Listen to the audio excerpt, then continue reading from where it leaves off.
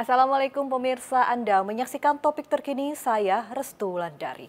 Pemirsa, jumlah pasien COVID-19 di Wisma Atlet Kemayoran, Jakarta Pusat mengalami penurunan. Namun Satuan Tugas Penanganan COVID-19 terus mencatat penambahan kasus di Indonesia yang mayoritas disebabkan oleh subvarian Omikron BA4 dan BA5. Sudah ada tim Antv, Wisnu Tresna dan John Bosco di Rumah Sakit Wisma Atlet Kemayoran. Wisnu, silahkan laporannya. Baik, terima kasih. Pemirsa, jumlah pasien yang saat ini dirawat di RSDC Wisma Atlet Kemayoran Jakarta kembali berkurang sebanyak 14 orang. Jumlah ini diambil dari data per Selasa 12 Juli 2022.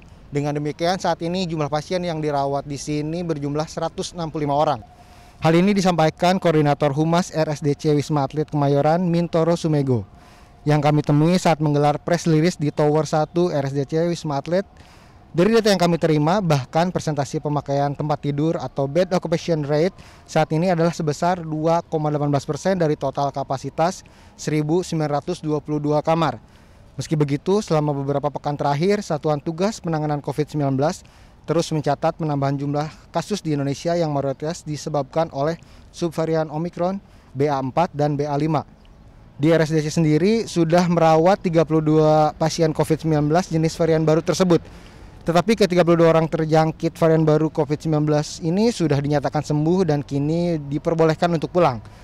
Dari 32 pasien yang positif COVID-19 varian baru tersebut terdiri dari 12 pelaku perjalanan luar negeri dan 20 orang non pelaku perjalanan luar negeri. Dari RSDC Wisma Atlet Kemayoran Jakarta, Wisnu Tresna dan John Bosco melaporkan kembali ke studio. Pemirsa, demikian topik terkini. Saksikan topik terkini selanjutnya. Ayo pakai masker, ayo cepat vaksin. Saya Restu Landari, sampai jumpa dan wassalamualaikum.